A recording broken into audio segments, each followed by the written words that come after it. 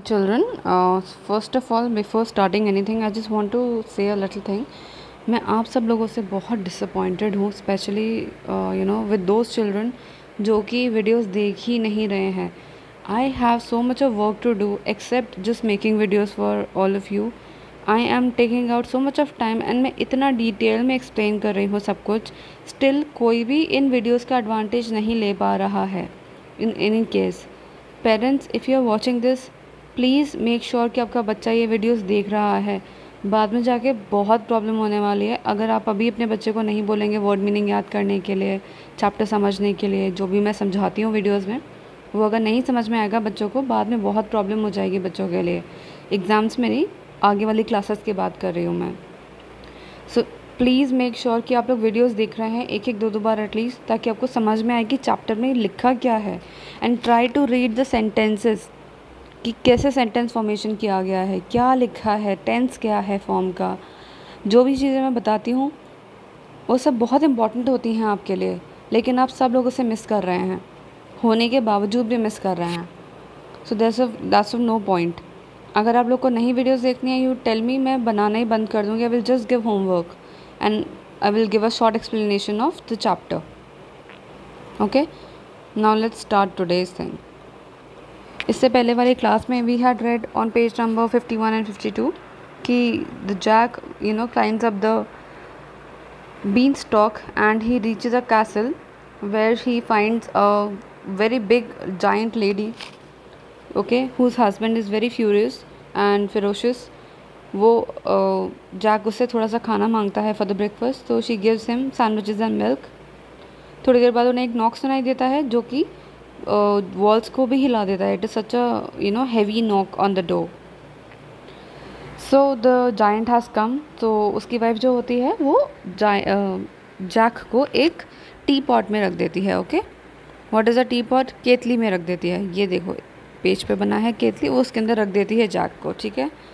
Now जब giant आता है तो वो अपनी वाइफ से कहता है कि मुझे किसी छोटे बच्चे की स्मेल आ रही है। एंड मैं उसको खा जाऊँगा, उसकी बोन्स को क्रश करके अपनी ब्रेड बनाऊँगा। ऑल राइट लेकिन वो कहती है कि नहीं, तुमको फॉक्स की स्किन ऑक्स की स्किन का स्मेल आ रहा है, कोई बच्चा नहीं है यहाँ पे, ठीक है?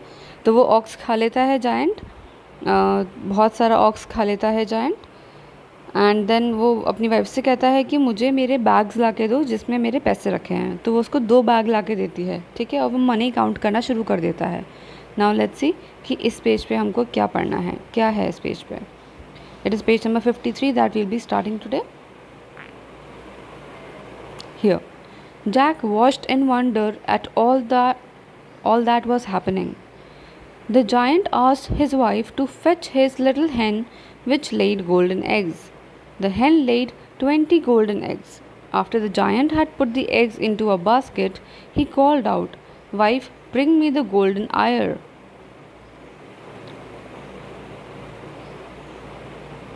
His wife bought the golden lyre and placed it onto the table.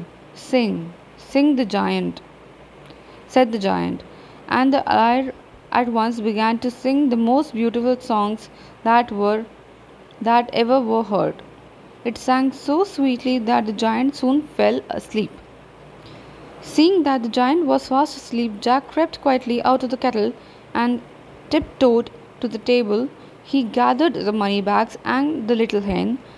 He put them into the large bag, and just as he lifted the golden lyre, the hen called out, Master, Master. The giant woke up. इस page पे हमने क्या पढ़ा कि जो giant था उसने जो मनी काउंट कर रहा था उसको जैक देख रहा था वंडर में देख रहा था ये वर्ड मीनिंग है ये आपको याद करना है ठीक है तो वो उसको वंडर में देख रहा था। देन उसने पूछा अपनी वाइफ से कि मुझे मेरी गोल्डन एग्स ले करने वाली हैन लेके आओ। तो वो एक हैन लेके आती है जो कि गोल्डन एग्स ले करती हैं। उसने ट्वेंटी गोल्डन एग्स ले किए। All right twenty golden eggs lay out किया उसने।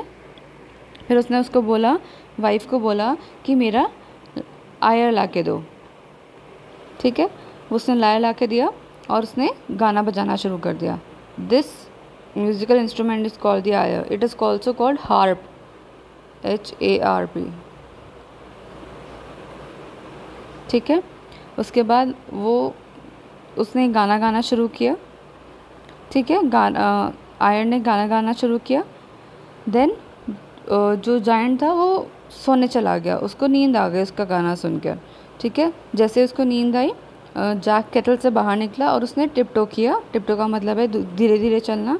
और फूक फूक के कदम रखने को टिपटो कहना, करना कहते हैं। ठीक है? टिपटो किया, उसने मनी बैग उठाया हैन को उठाया और उसने लार्ज बैग में डाला, बड़े से बैग में डाला और उसने वहाँ से उसको लेके जैसे ही वो जाने लगा तो जो उसकी हैन थी, उसने कहा, मास्टर मास्टर, और जाइंट जग गया। हम नेक्स्ट पेज पर जाएँगे। ठीक है? I will read the chapter and then I will explain it you. just in time to catch the sight of Jack running out of the kitchen door with his money and hen. With a fearful roar, he screamed, Fee fee fo fum, I spy a country bum. He is alive but will soon be dead, when I grind his bones to make my bread. He grabbed his club and dashed after, the ja- after Jack, who was already halfway down the beanstalk. The giant began to climb down but as soon as Jack saw him coming, he called out, Mother, bring me an axe. Jack had no, snore, no sooner reached the ground when he chopped the beanstalk down. Sorry, beanstalk. Down came the giant with a terrible crash, and that was the end of him. With the bags of gold and little hen, Jack and his mother helped the entire village. All the villagers blessed them and lived happily ever after. इस page का मतलब है कि जैसे ही कि वो उसको पकड़ने वाला था, जो जायंट था, जैसे ही वो जाग को पकड़ने वाला था कैच साइट ऑफ़ मतलब देखने वाला, तुरंत जैसे कि देखने वाला you know to see something to catch the sight of मतलब जैसे कि वो आपकी नज़र के सामने आया। ठीक है? उसने किचन डोर से जा रहा था वो हैन और मनी के साथ। उसने ज़ोर से चिल्लाया जाइंट ने ज़ोर से चिल्लाया fee fi fo fum I spy country bum he is alive but he soon be dead when I grind his bones to make my bread यानी कि मैं एक छोटे से बच्चे को देख पा रहा हूँ कंट्री स्पाई को देख पा रहा हूँ, लेकिन अभी वो ज़िंदा है, थोड़ी देर में मर जाएगा, क्योंकि मैं उसकी बोन्स का ब्रेड बना के खा लूँगा। ठीक है? देन क्लब एंड डैश का क्या मतलब होता है? वो यहाँ पे दिया है, आप पढ़ लीजिएगा प्लीज़ ठीक है? The giant began to climb down जैसे कि जाइंट नीचे आ रहा था, उसने उसको देख लिया जैक ने देख लिया जाइंट को तो जैक ने ज़ोर से चलाया कि, मम्मी, मुझे एक एक्स ला के दो। एक्स का मतलब होता है कुल्हाड़ी, ये, ठीक है? जैसे उसकी मम्मी ने एक्स ला के दी तो उसने तुरंत उसको काट दिया बीन स्टॉक को काट दिया।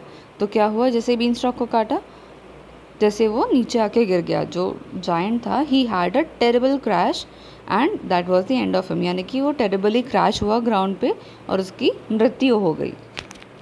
ठीक है? तो that was the end of him with the bags and the gold तो यहाँ पे क्या लिखा है? कि बैग्स ऑफ़ गोल्ड और हेन के साथ जैक ने पूरी गाँव की मदद करी और सारे गाँव वालों ने उनको ब्लेस किया ब्लेस किया और वो लोग हमेशा आगे खुशी खुशी से रहे, ठीक है? इसके बाद आपको होमवर्क करना है। होमवर्क में आपको बी क्रिएटिव एक्सरसाइज करनी है। बी क्रिएटिव एक्सरसाइज में क्या करना है आपको? कि ये जो डैश दिया हुआ है यहाँ पे आपको सेंटेंस कंप्लीट करना है। यहाँ पे आपको कुछ लिखना है और सेंटेंस कंप्लीट करके आपको ये स्टोरी पूरी करनी है। कोई इंटरनेट से नहीं देखेगा सब लोग अपने आप करेंगे। पेरेंट्स प्लीज़ बच्चों को करने दीजिएगा सो so दैट कि वो गलती करें और फिर मैं उनको सही करूँ।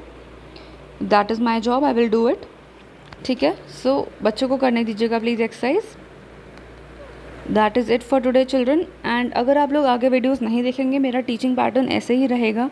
मैं जल्दी जल्दी समझा दूँगी। लेकिन अगर आप लोग वीडियोस देखेंगे, तभी मैं एलेबोरेटली एक्सप्लेन करूँगी। अदरवाइज़ मेरा इतना टाइम देने का कोई मतलब नहीं है वीडियोज़ को। All right children so that is all up to you कि आप कैसा पढ़ना चाहते हो। डिटेल्ड पढ़ना चाहते हो या ऐसा जैसा मैंने आज पढ़ाया, वैसा पढ़ना चाहते हो। You can please tell me individually on my personal WhatsApp और comment down below the video कि आप लोग कैसा पढ़ना चाहते हो? जैसे मैं पहले पढ़ा रही थी, या जैसे मैंने आज पढ़ाया? Okay thank you so much children